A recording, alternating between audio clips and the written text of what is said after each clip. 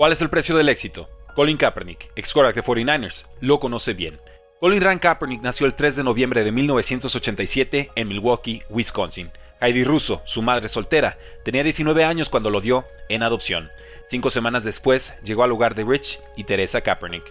Fue pitcher, ala defensiva y punter en Turlock, California. A los 9 años ya era quarterback titular. Fue seleccionado estatal de americano, béisbol y básquetbol en John H. Pittman High, además de MVP de la Conferencia Central, California. Tuvo ofertas colegiales de béisbol, pero solo Nevada le ofreció beca como coreback. Kaepernick, prospecto de tres estrellas, la aceptó. Brilló en el esquema pistol del head coach Chris Alt, graduándose con casi 10.100 yardas y 82 touchdowns aéreos, 4.100 yardas y 59 touchdowns terrestres y licenciatura en administración de negocios. Los Chicago Cubs lo tomaron en ronda 43 del draft 2009, pero Kaepernick prefirió el NFL Draft 2011. Llegó con precisión, liderazgo, explosividad y producción terrestre, pero cuestionado por su complexión esbelta, lectura de defensas y mecánica de pase inusual. San Francisco pagó tres selecciones a Broncos para tomarlo con el pick 36 global, el sexto coreback detrás de Cam Newton, Jake Locker, Blaine Gabbert, Christian Ponder y Andy Dalton. Tras un año de suplente, una conmoción del coreback Alex Smith hizo a Kaepernick titular. Eliminó a Packers con 181 yardas terrestres en su debut de playoffs, venció a Falcons en final de conferencia y avanzó hasta el Super Bowl 47 contra Ravens. Sus 300 yardas y dos touchdowns no fueron suficientes. Un año después, perdió en épica final de conferencia contra los Seahawks de Russell Wilson.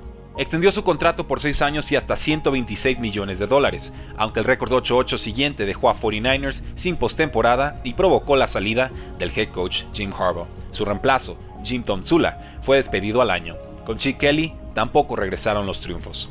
Kaepernick pedía salir del equipo, deseo que no fue concedido. Llegó debilitado al off-season 2016 tras cirugías de pulgar, hombro y rodilla. Recuperó la titularidad de Blaine Gabbert en semana 6, terminando con 16 touchdowns y 4 intercepciones en 12 partidos. Pero 5. 5 durante el himno nacional. 5 para denunciar la opresión racial y la brutalidad policíaca. 5 por afroamericanos asesinados impunemente a manos de autoridades. No sentí orgullo por un país que oprime a los negros y a las personas de color, dijo Kaepernick. No estoy necesariamente de acuerdo con lo que hace, respondió el comisionado Roger Godel. El rating de la NFL cayó 8% ese año y 10% el siguiente. Culparon a Kaepernick. De mutuo acuerdo, salió de 49ers al siguiente offseason, pero nadie lo firmó como titular ni suplente demandó a la liga por colusión y llegó a un acuerdo confidencial en febrero de 2019. Donald Trump, entonces presidente de Estados Unidos, pedía castigo para cualquiera que se encara durante el himno. Las protestas continuaron. El asesinato de George Floyd y el movimiento I Can't Breathe años después provocó que jugadores se grabaran exigiendo respuesta firme de la NFL. Roger Godel se disculpó por silenciar las protestas. Incluso dijo Black Lives Matter. Lo que nunca dijo fue, perdón Kaepernick, me equivoqué.